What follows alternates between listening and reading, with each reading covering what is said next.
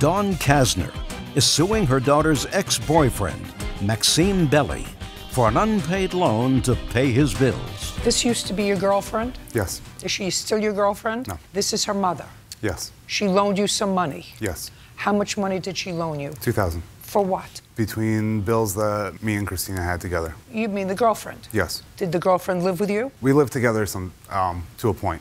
What does that mean? Uh, that means when she was in school, we lived together, and then when she wasn't in school, we had our own places. She was back at her parents, and then. Well, did you go to school together? No, So what did you do when she was in school? I was working. So you were working, she was in school, but you were in the same town? We lived separately. Uh, when she went to school, she had a campus she- apartment, and when she had the campus apartment, we lived together. When she had a campus apartment, you stayed at her house. When she had the campus apartment, yes, I stayed with her. Campus apartment was paid for by whom? Financial aid, So she had a financial aid package. Mm-hmm. And you were working. yes. Were you paying rent? I was paying everything else. Were you paying rent? No, Were utilities covered everything was covered. in the rent?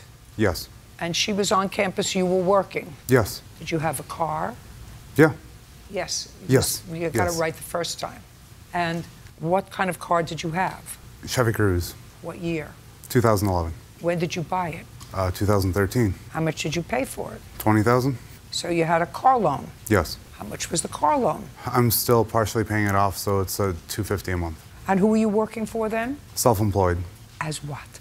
painting and renovating. So you were a handyman Yeah, when you could get work. I always have work.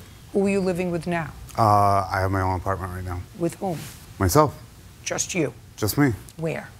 in Waterford.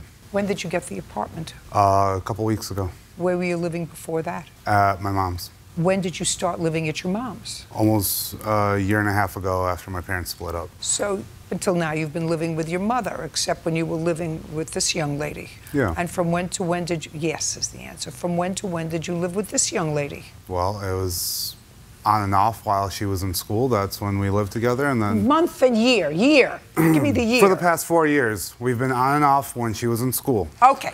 Now, I want you to tell me where you were when you asked Miss Kasner for a $2,000 loan. Where and when? I believe I was at my mother's at that time. No, where did the Oh, oh conversation oh, actually, take no. I, oh, at her house. You were asking me? I wasn't there. At her house. when? It was February 14th. 2000 and what? 17? I wasn't there. 17.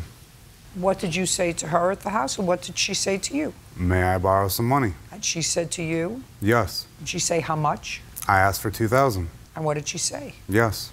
Great. And did she give you a check or cash? Check.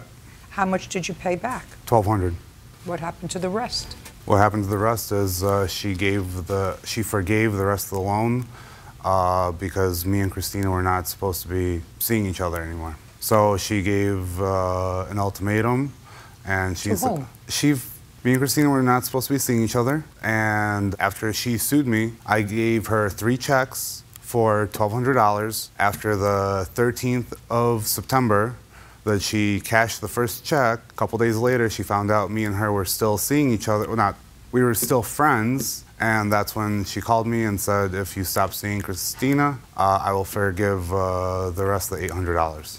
You're a prince. Oh. Hmm. right? Well, for paying for Christina for four years, I would be.